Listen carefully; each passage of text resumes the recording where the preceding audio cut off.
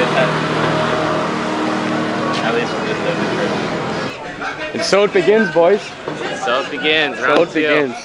We are here in the Pacific coast of Colombia, going out of Bahía Solano. A lot of you guys watching this say, hey Chris, you already did this two months ago, right? I think it was two months ago. It was like a month and a half ago. I had like a five, six part video series, but this area was just so incredible. Scott and I had a lot of unfinished business, and now we are back. And this time, bought our buddy Lawson because he's the big saltwater guy. Scott and I were not. You're not the most experienced saltwater guy in the world, are you? No, not, not as experienced as Lawson. So the last trip and this trip also we booked through an expedition called Fish Columbia, ran by this guy over here, who you guys will meet in a minute here. So I'm gonna let him talk a little bit and explain exactly what we're going to be targeting and what we're going to get into this week. Hey guys, we're here in the Pacific coast of Colombia.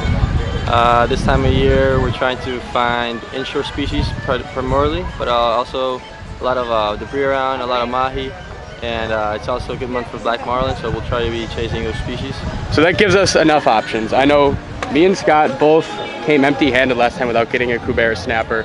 That's definitely the number one revenge. And also the roosterfish. If you guys watch those videos, you saw us lose a, a trophy roosterfish right at the boat.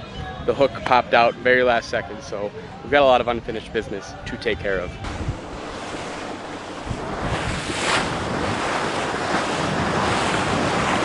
How does it feel to get the ultimate compliment from uh, Lawson?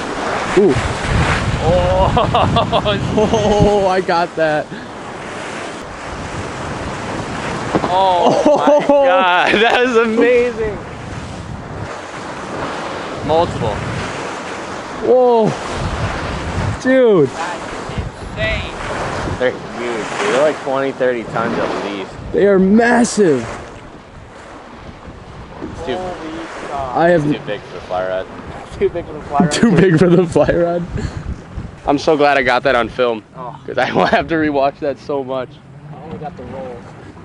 Well, there's gonna be plenty more throughout the, The week, first- I think. That, that's the first footage I've ever wanted to steal from you. really? No one's crazy, dude. Now, what you're looking at right now is some unbelievable humpback whale footage that Lawson let me borrow. He brought his drone and recorded this stuff. The Pacific coast of Colombia there was absolutely filled with these humpback whales when we were there. July to I think October, all the humpback whales they swim all the way up there for their breeding grounds. We spent most of this half day fishing, chasing offshore species. Myself and Lawson both hooked a mahi mahi and lost it, and then we trolled for marlin for a couple hours and were unsuccessful. Now day two was far more action filled as we shifted our focus to the inshore species, and I finally got my revenge. Oh, Cubera, Cubera, Cubera. Got him! Got him! Kubi! Chris has it. Cubera! Yes! Alright. Alright. Dude, I was reeling it. I wasn't popping it. I got him. I think he's good. Ah. Get some line, get some line, get some line. Is it a Cubera? Yeah, dude. Ah. Yeah, man. Oh. Bring the rod up. That's real, man. Dude, these things are so strong. I can't believe it happened. Didn't take too long, man. No, We're about an hour and a half in.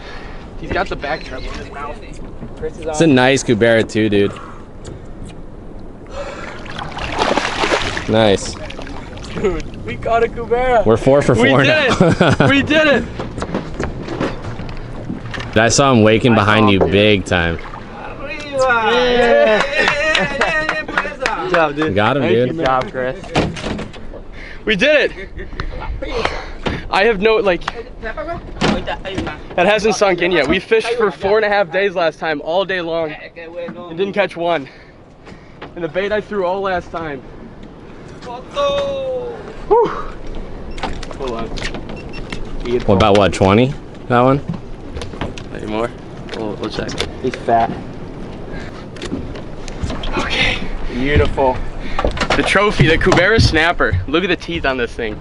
The last time we were here, about a month and a half ago, I got to watch Tommy, the other guy that was with me and Scott last time, catch two of these. I'm gonna try my new camera. And the topwater bulbs just looked so insane. And I finally got these guys. On a popper too, this is an incredible way to catch these fish. Usually you cannot catch these fish popping. Usually people spearfish them in Florida, right Lawson?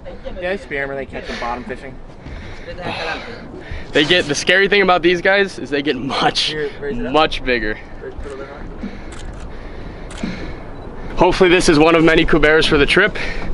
My first one Chris, ever. you deserve it, man. If anyone deserves it, you deserve it right there. All right. There Here he goes. Oh!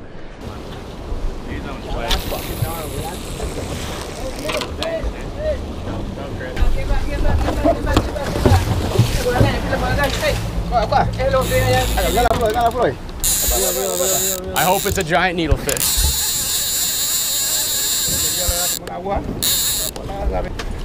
A live bait runoff. Came back and grabbed it. I don't think it's a needlefish, dude. I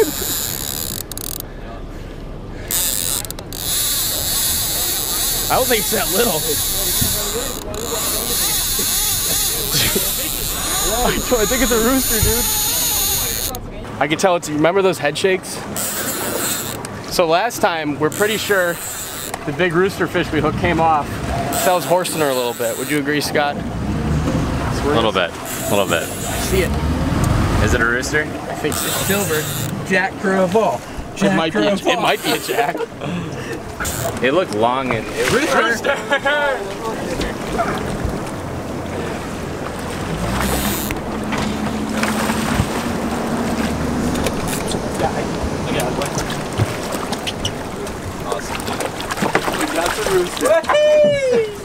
killer. Good size, eh?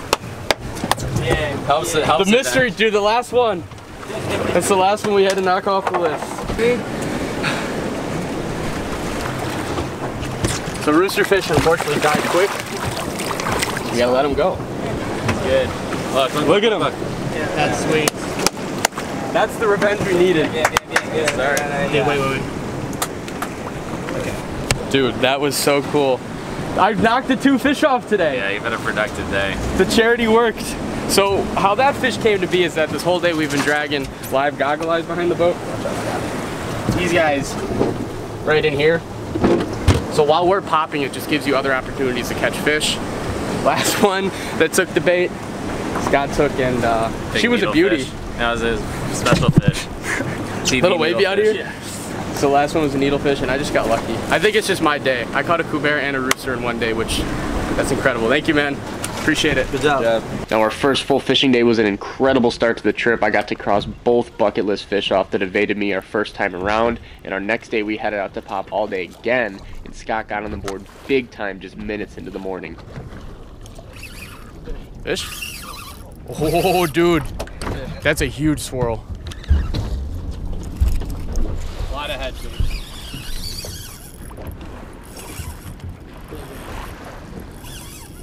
Oh, Scott.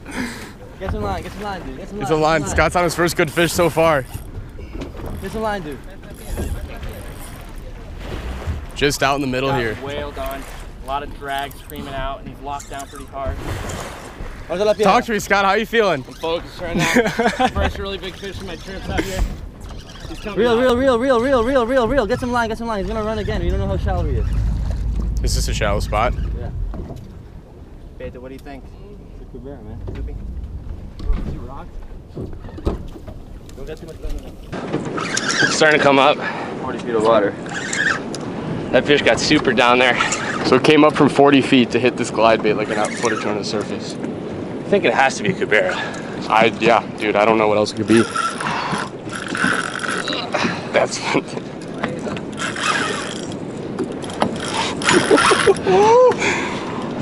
I want to see this fish so bad. Does it feel like a broom tail? It really does.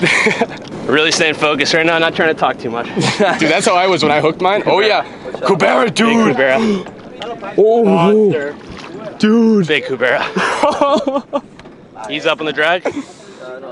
Shaking right now, man. Got the single in there. Looks pretty Yeah. good.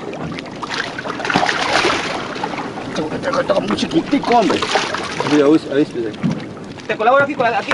Yo lo consigo, ya, ya. Yeah, I win.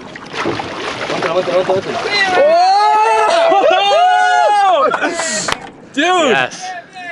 Wow. first 10 minutes. You You called that bait, Beto. Monster, Scott. Look at my hands right now, man. That was crazy. Holy crap. That's the lodge right there. That's a fish I've been looking for for a couple trips now. 48 pounds. 48. I can't believe that, dude. Un- uh, dude, this, did you see the blow up? No, dude. Giant. Scott deserves it, dude. Giant. So that was the fish of a lifetime for Scott. Cuberas grow twice as large, but you usually don't land them over 50 pounds because they just become too powerful and they cut you off when they dive in the reefs. So that was an epic, insane fish. It made the whole day, but fortunately for us, this was not the only big Cubera landed on this day. You'll go tarp and just back down to the head. Back down a lot. Good fish, good fish. That thing ripped. Duro. Duro. Loss has got a good one now. Más duro. Chris. What, camera? Yeah. What do we got going on here? Feels good, feels good. I'm running the lightest setup out of anybody on the boat, so I gotta kind of be careful with these fish. So the boat and dragging them away from the rock piles with the thought here. Getting deeper right here. Gosh, this feels heavy. I don't know if it's any uh, Scott Rose Cubera, but I'm thinking it's Cubera. I saw a big brown and red going again. Did you see, Scott, did you see it? I didn't see the take. Me and Lawson were just talking maybe a second before that how that that bait is getting hit by every single fish we see today. The Not Westin. Glide. That was aggressive, eh? One stud. Well, what is that? Cubera. Yeah. Cubera. Fargo. Oh. Dude, not even. oh my god. Oh, What's the comparison to a GT, man? Yeah. it's very similar, but their dive is so much stronger than a GT. It's stupid. Coobies. Coobies all the It's way, right man. here. So strong.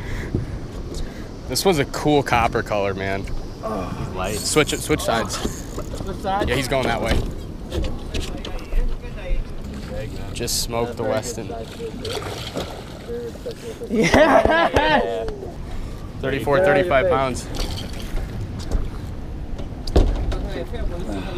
Now Lawson's first big Cubera cemented that awesome day of fishing for us. We filled out the rest of the day with like small jacks, needlefish, stuff like that. But the following morning was probably the coolest fishing memory I've ever had. I was throwing a giant popper over a reef that topped out at 75 feet. It's a couple miles offshore, surrounded by like hundreds of feet of water, and then chaos ensued.